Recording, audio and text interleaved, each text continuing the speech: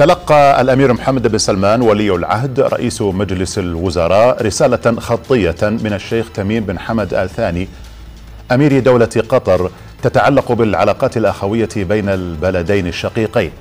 تسلم الرساله نائب وزير الخارجية وليد الخريجي خلال استقباله سفير دولة قطر لدى المملكة بندر العطية.